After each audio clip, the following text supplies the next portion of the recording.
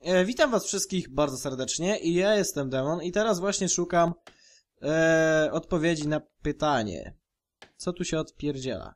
Do not over yet. E, nadal nie. Więc gdzie mogę znaleźć jakikolwiek, nie wiem, szyfr do tego zamka? Hmm.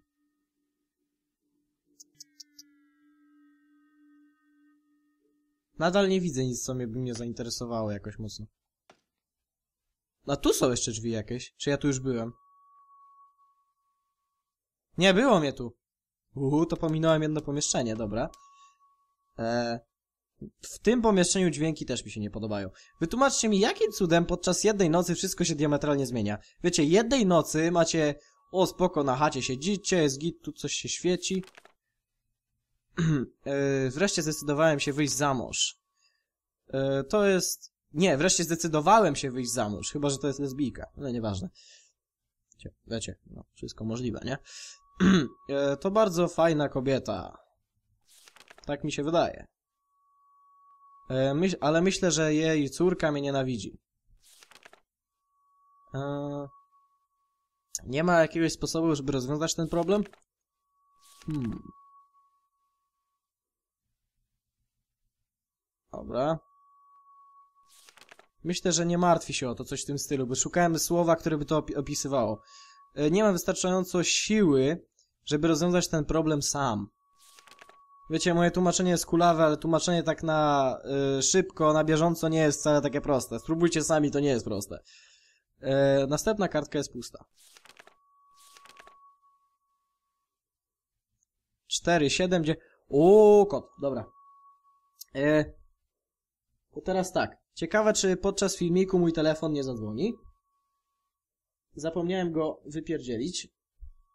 E, dobra. Leż tam, dziadu. E, gdzie ja mam jakiś pisak, który mógłbym coś napisać? W zasadzie mam tutaj ołówek. Ma w ogóle? Chyba ma, dobra. I tak. 4, 7, 9, 6. Żebym nie zapamiętał, bo moja pamięć jest dobra, ale krótka. dobra. 4, 7, 9, 6. Spoko. No to co, mam już szyfr do zamka. Mogę schodzić na dół, ale ja jeszcze chcę sobie pozwiedzać coś, co tutaj mamy dookoła. To jest sypialnia.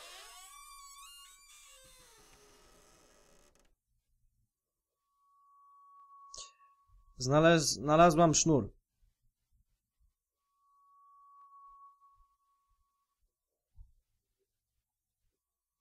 Okej, dobra. To jest całkowicie normalne, że w szafie znajdujesz sznur, na którym ktoś mógłby się powiesić.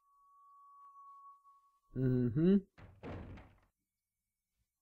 Dobra, spoko. Nic tu nie ma ciekawe. To jest zdjęcie twojego ojca, jest strasznie czerwony. Nie wydaje ci się? Okej, widać wszyscy w tej grze mają czerwone ryje, więc teoretycznie ta dziewczynka, która mnie ściga, jest całkowicie normalna. Ej, dlaczego za oknem jest czerwono? E? Okej. Dobra, y, podchodzimy do ostatniej rzeczy, z którą mogę się interaktywować, tak jakby. Tu jeszcze mogę coś podnieść? Chyba nie.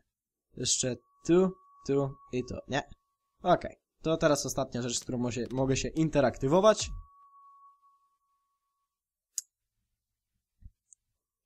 Z, e, trochę takiego, nie wiem, trunku, który mój, fa mój fader, mój tata preferował.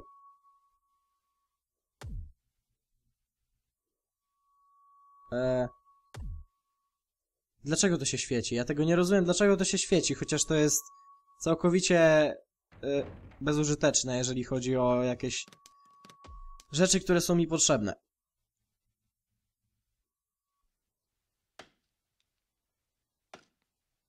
Dobra. Już myślałem, że coś się zmieniło w dźwięku, ale widać nie. Schodzimy do piwnicy. Tak, chcę zejść do piwnicy. Super. Będziemy się świetnie bawić w piwnicy. Tam jest ciemno, chodzi czerwona dziewczynka z czerwonym ryjem. Tam jest wszystko spoko. W sumie tam jest wszystko normalne. Oprócz tego, że chodzi ta czerwona jędza, to wszystko jest git. Ale patrząc na to, że ten portret był czerwony, to widać to, że ten, ta dziewczynka jest czerwona, to to w sumie jej natura normalna. Wszyscy ludzie tu są czerwoni. Może to plemię Indiańców zamieszkujących tą wioskę. Kto wie? Dobra, czyli rozumiem, że jeżeli wpiszę zły kod, to wtedy ta dziewczynka się na mnie rzuci. A jeżeli wpiszę dobry kod, to wtedy otworzę skrzynię, a tam będzie jakiś zaklinacz dusz. Wiem, mam bujną wyobraźnię. Dobra, zapiszemy grę. Jakbym się jeszcze walnął w kodzie. Klik! Eee, no, zamek jest zamknięty.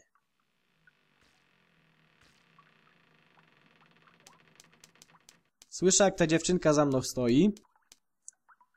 Eee, 796. Ja na pewno dobrze napisałem, muszę sobie jeszcze przypomnieć. 4796. Okej.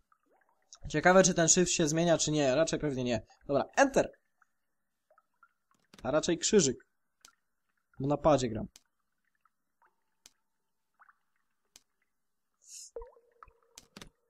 A! Zaskoczyło. O, nie ma jej. Otworzyłam zamek. Eee... I found the will and the medicine case filled with sleeping pills. Nie wiem, co to jest will. E, znaczy, will to jest bohater paralela, ale znalazłem jeszcze coś tam. E, mm, apteczkę taką jakby z wypełnioną środkami nasennymi. Muszę się stąd wydostać. Zawalisty pomysł. Czemu to się zrobiło aż tak ciemno? Nie chcę nic mówić, jak tu było wcześniej o wiele jaśniej.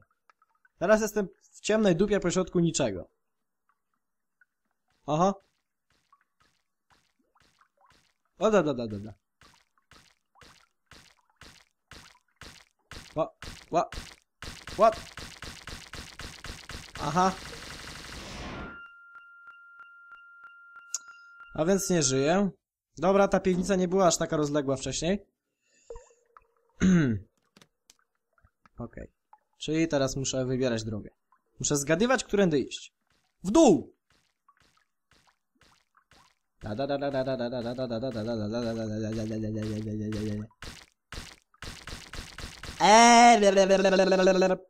Dupa, nie znajdziesz mnie. Czy nie złapiesz mnie?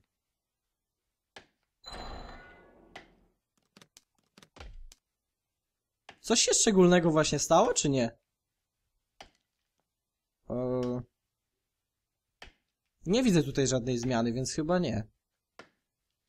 Dobra, e, co ja mam z itemów teraz? Mam e, latarnię. Mam... E, my first will.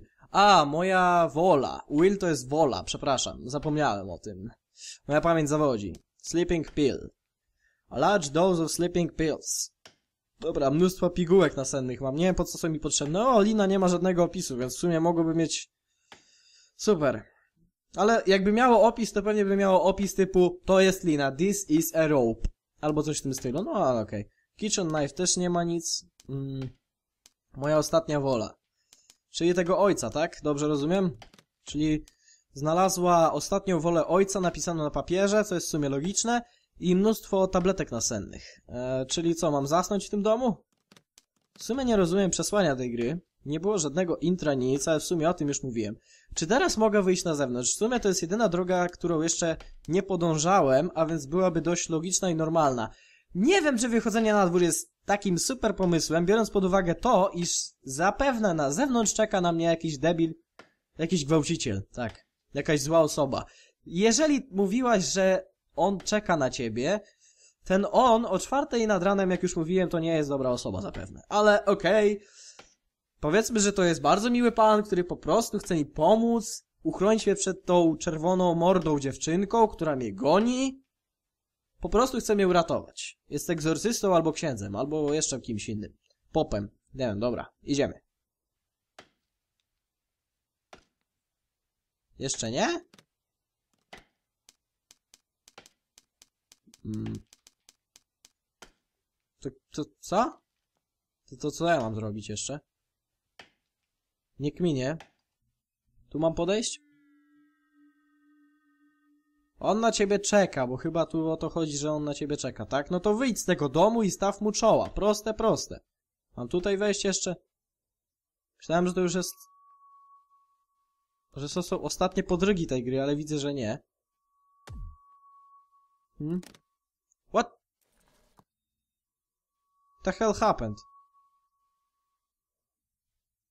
A, czy wrzucić te tabletki do tego, tego, kieliszka pewnie. Wiecie, mi się wydawało, że tutaj po prostu mm, nie będzie interakcji, dlatego to przewinąłem.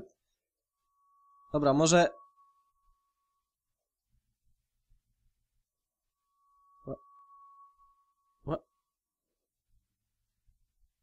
Zaraz, zaraz, zaraz. Moment, moment, moment, dajcie mi chwilę, dajcie mi chwilę.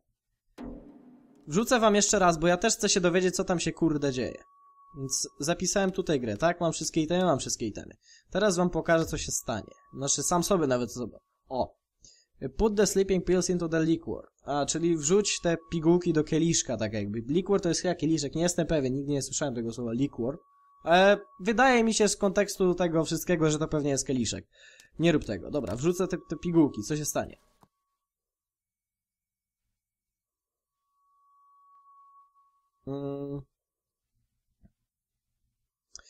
Wrzuciłam wszystkie pigułki, które były w tej apteczce, powiedzmy, w tym opakowaniu, do em, butelki? To było do butelki chyba było. Okej. Ciemno. Okej. My last will. My, my, my, my, my, my, my, my, my.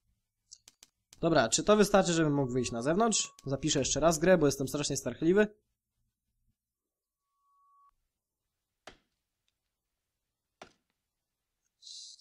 Mam nadzieję. Mogę teraz wyjść? Na to wariatku.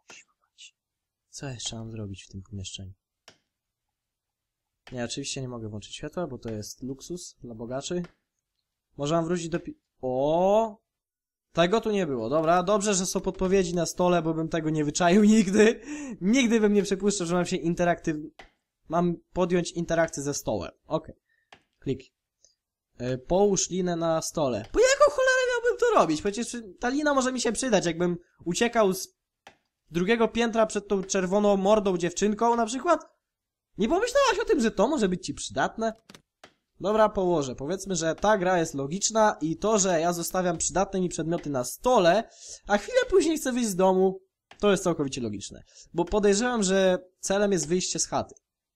Co? Połóż części lalki.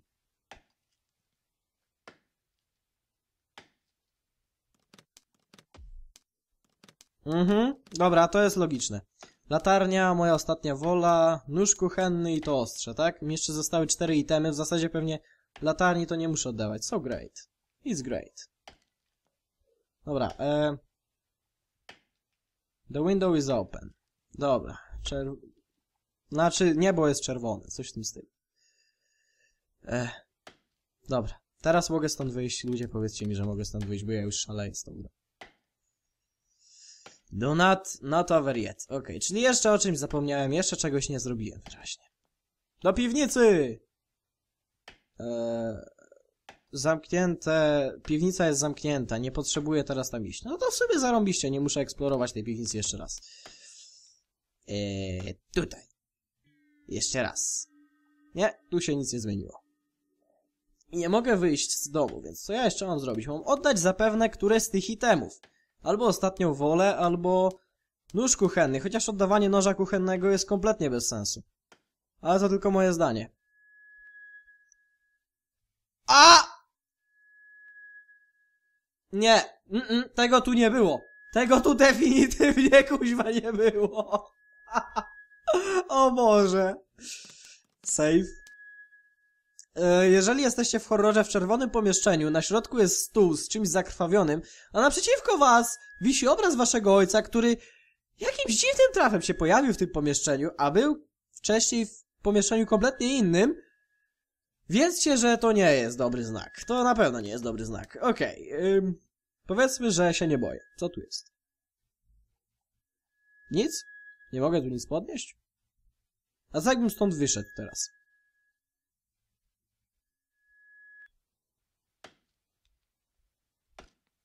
Nic by się nie stało, dobra.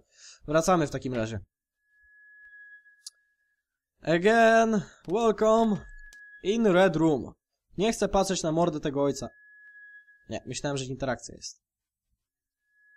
Eee, dobra, teraz się lekko zmieniła ta twarz. Co? A po jaką cholerę miałbym rozcinać ten obraz nożem, co? To nie ma kompletnie dla mnie sensu. Dlaczego miałbym niszczyć ten przepiękny, co prawda marny, ale powiedzmy, że przepiękny z widoku, z, z widoku, z perspektywy sztuki obraz. Myślałem, że ktoś za mną stoi. O! Wow, wtedy to by był atrakcyjny, atrakcyjny filmik, nieprawdaż? Dlaczego miałbym niszczyć ten przepiękny obraz? Przecież on jest przepiękny, on jest taki kolorystyczny. Ma tylko co prawda dwa kolory w sobie, ale zarobisty. Dla mnie to jest sztuka, wiecie. Współczesna sztuka to są na przykład żygowiny na płótnie i za to się dostaje parę tysięcy euro. Nie wnikam. Może to też jest sztuka. Po co miałbym ją niszczyć? Chociaż sobie mam drugi taki obraz. Ktoś tu kopiuje obrazy. Dobra, przetnij to. Nie wiem po jaką cholerę, ale... Ten obraz krwawi? Co? Dobra, w tym już nie widzę kompletnie sensu. Jakim cudem z obrazu wypadł mi klucz? To trochę jak w kodzie Leonardo da Vinci, czy jak? I co to jest tu na stole? Co to ma być? Co to? Co to? Dlaczego ojca pocięłaś? Co? Zabiłaś ojca? Na obrazie, ale zawsze. Przecież to twój ojciec? Nawet nie wiem, czy to ty jesteś tą dziewczynką z, not z tego, z pamiętnika. To już koniec. Eee... Koleżanko, gdybyś nie zauważyła... Okej, kontrast się delikatnie zmienił. Koleżanko, gdybyś nie zauważyła, trochę się kolorystyka zmieniła. Na twoim miejscu po prostu wyważyłbym te drzwi i spieprzał stąd jak najszybciej i jak najdalej. To koniec. Eee... Okej, spojrzę przez okno. E, nie mam powodu, żeby co? Żeby... Nie mam powodu, żeby wyglądać na zewnątrz przez tą dziurę. To to jest teraz dziura? Tam było okno w sumie. Chociaż tam było okno? Nie wiem, czy tam było okno. Dobra, pójdziemy tędy. Fuck the logic. A jakbym się teraz wrócił na początek? Na. O, czerwone, dobra. So great. Dobra, a ja wrócę na zewnątrz. Znaczy nie, nie na zewnątrz, a ja wrócę na górę. Blelelelele. Fuck you all. Eee... Okej, czy nie mogę. Dobra, nieważne. Gra mi nie pozwala wyjść na górę. Góra jest zakazana mnie. Jeszcze się jaśnie nie, nie zrobiło przypadkiem. Dobra. Chyba nasza... Okej, to coś nowego, przynajmniej mogę teraz otworzyć te drzwi, a przynajmniej tak mi się wydaje, bo w sumie mam drzwi na zewnątrz, więc to znaczy klucz do drzwi na zewnątrz, do drzwi frontowych, o tak. Więc mogę pewnie wyjść. Yy, ciemny ten. Open the door. A co jeżeli nie chcę otworzyć tych drzwi? Może ja nie chcę stąd wychodzić? Chcę tu zostać, tu jest tak pięknie czerwono. Krwisto. Ops, już myślałem, że jump scena. Eee...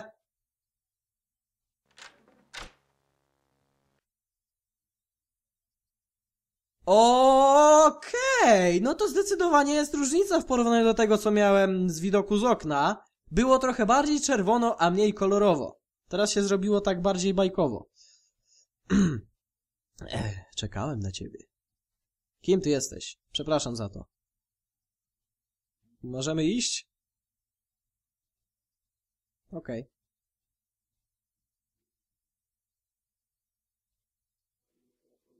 E, u. Aha, więc to tyle. Dobra. Producer Astral.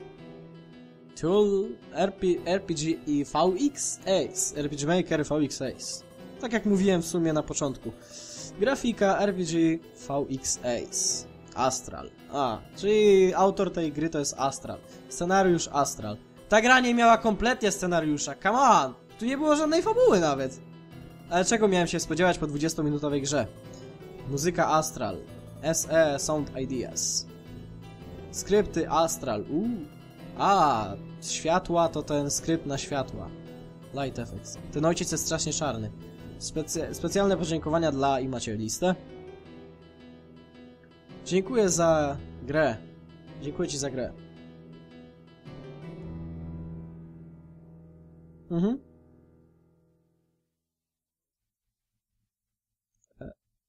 What? What? What? What? What? What?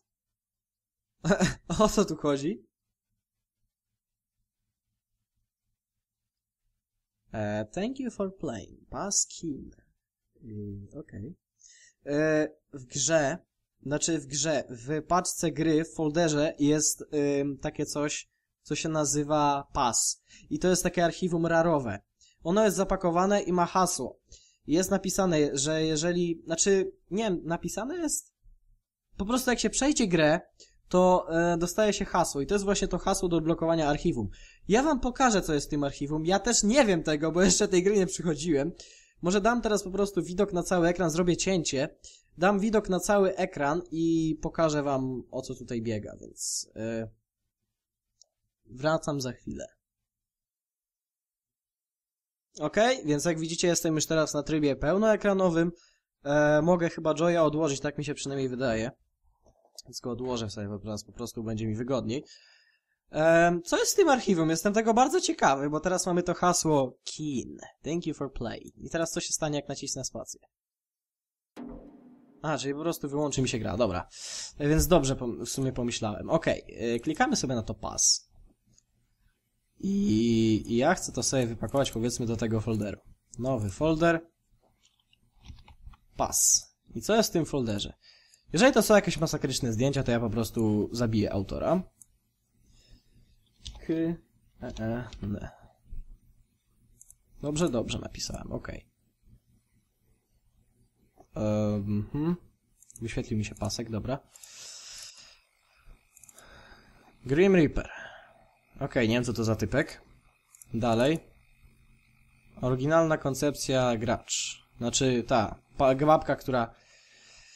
E, którą sterowaliśmy. W zasadzie ani razu nie widziałem jej wizerunku w takim... W, w takim... takiego wizerunku. Widziałem tylko jej postać... Yy, no, kurde, charakter na mapie, więc... O co tu chodzi? Title, czyli ta ekran tytułowy, no dość ładny i dość fajnie stylizowany. Um, Cloudy Sky, okej. Title Bright. Leave to Hell. Aha, dobra. Eee, kind. Ciekawe.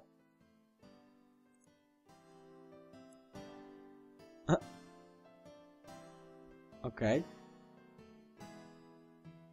Przewinę trochę.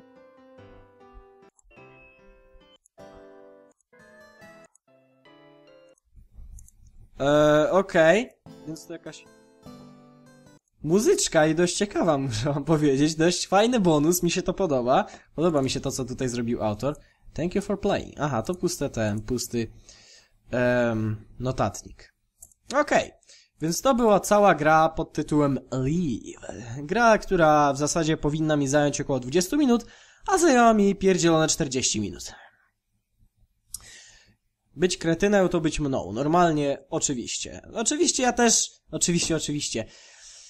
E, fakt faktem, że ja po prostu się ślama, zaży... e, ślama zażyłem w tej grze i po prostu pierdzieliłem monologi, wygłaszałem, ale ja tak lubię. Ja lubię sobie pogadać i po prostu e, jakoś tak wyszło, że dwa odcinki. A w zasadzie jakby to wyszło w jednym odcinku się d- 20 powiedzmy parę minut, a w drugim 5 minut, to tak lipa trochę, więc... Więc w sumie dobrze zrobiłem. Jeszcze wam zrobiłem unboxing tego archiwum. Więc no, myślę, że gra spoko, bardzo mi się podobała. Ma dość fajny klimat. Oczywiście ten klimat głównie jest budowany przez tą taką dziwną muzykę, przez dziwną taką otoczkę dźwiękową i to mi się bardzo podobało, to mi się naprawdę bardzo podobało. To było super. Oczywiście ta postać, yy, główna postać, no nie mogę nic o niej powiedzieć, bo nic się w sumie o niej nie dowiedziałem, oprócz tego, że była córką kolesia. I tyle. I tyle, naprawdę. Z tych, z tych pamiętników tak naprawdę niewiele można się było dowiedzieć. Oczywiście tam było coś, że jakaś rodzina, nowy mąż i tak dalej, ale to takie, wiecie, takie pierdółki, dodatki, które praktycznie tylko stylizują, tak udają, że to jest fabuła jakaś w tej grze. E, tak, fabuły nie było. Oczywiście, fabuły nie było, bo tam praktycznie budziłem się i miałem... Co? Tyle. Co, że wrzuci, wrzucono mnie do gry i rób ta co chce ta, tylko macie przejść grę. To coś w tym stylu było, że łaź sobie gdzie chcesz, ale uważaj na tą czerwoną mordą dziewczynkę i musisz przejść grę. Znaczy nie musisz, ale możesz. Taki masz opcję, że masz opcję przejścia gry. Żadnego intra, żadnej fabuły, ale okej. Mi się podobał klimat, mimo tego, że nie było fabuły. W SCP-087-B też nie ma fabuły, a też gra potrafi trochę przestraszyć. Może i jump scenkami, ale jak pierwszy raz się gra i nie oglądało się nic na YouTubie, y, w związku z tą grą, to naprawdę potrafi walnąć strachem. A więc... Yy, tak, tak jak mówię, porównuję to trochę do SCP, bo tu tam też nie było fabuły i też to było budowane zwykle przez dźwięk, a jump scenki były trochę. W pewnym sensie. Tutaj też jump scenek nie było aż tak dużo, kilka było, ale one były takie do zniesienia. Nie było w niektórych grach, tak jak w niektórych grach, że bum, jump scenka co 5 sekund, bój się, bój się, frajerze. Straszne, ło, nagle wyskakująca czerwona morda na ekran. Tutaj aż tak tego nie było. Gra mi się strasznie podobała, powiedzmy, że dam jej, jeżeli chodzi o takie, o to ile, znaczy, porównując to do tego, ile w nią grałem i ile, w ile można ją przejść, czyli 20 minut, 10 na 10. Naprawdę bardzo mi się podobała gierka, bardzo przyjemna, bardzo fajna e, z kategorii tego. Oczywiście, wiecie, tam nierozbudowana, zero fabuły. Mi to nie przeszkadzało. Ta gra mi się bardzo podobała, jestem bardzo zadowolony z niej. Nie zdenerwowała mnie ani razu. Może oprócz tego, że czasami e, były bezsensowne rozwiązania, czyli nie wiem, utnij misiowi głowę. Po co mi kawałki głowy misia? Albo po rozetnij obraz nożem. Po co? Jakim cudem z obrazu wypadł klucz? Co? What? What the fuck? E, fajne, motyw z dziewczynką, uciekaniem w tym, w tej piwnicy, wszystko fajnie, podobała mi się. Okej. Okay. Także, jeżeli chcecie zagrać sobie w to gierkę, to zapraszam, w opisie jest link do tej gierki. E, mam nadzieję, że wam się filmiki podobały, specjalne na Halloween. E, mam nadzieję, że jeszcze obejrzycie sobie dzisiaj jakiś porządny horror, bo to, co ja tutaj przedstawiłem, to jest kurde, parodia. Bardziej komedia niż horror, chociaż trochę się bałem. E, więc e, zapraszam, bo święto Halloween to jest akurat takie święto, w którym e, obejrzenie horroru jest jak najbardziej na miejscu i praktycznie jest niezbędnym elementem tego święta. Oczywiście jak ktoś się boi, no to spoko. Mu nie musi oglądać. Może obejrzeć piłę. Co nie jest w sumie dla mnie horrorem, ale jest klasyfikowane jako horror. To jest tylko obrzydliwe, to nie jest horror w razie czego, spokojnie. Ten Jigsaw nie jest taki straszny, więc możecie sobie obejrzeć, to piłę. To jest lekki horror, jeżeli można go nazwać horrorem, dlatego zapraszam do obejrzenia jakiegoś horroru sobie jak najbardziej. Ale dobra, nie będę zajmował waszego czasu, bo macie pewnie jeszcze stertę innej rzeczy do roboty, jutro święto wszystkich świętych, święto wszystkich świętych, e, rodzina i tak dalej, i tak dalej, więc ja kończę swój wykład. Dziękuję wam za obejrzenie tego odcinka. Jeżeli chcecie, możecie wbijać na mojego Facebooka, którego macie w opisie. Zapraszam do innych filmików i na razie.